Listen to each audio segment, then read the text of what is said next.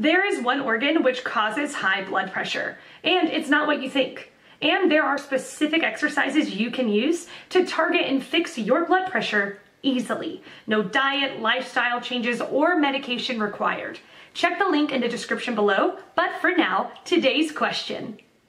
The question How does someone combat high blood pressure? Answer by Radwa. You have to consult your physician to prescribe them a suitable medication. You also have to follow healthy lifestyle. Eat more vegetables and fruits. Reduce fatty meals. Reduce salt intake. Stop smoking and alcohol drinking. Get away from any stress factor. Take a walk 30 minutes every day. Monitor your blood pressure levels by measurement. There's an app where you can add your daily meals blood pressure levels and it measures your physical activity stepwise. Here's the link if interested.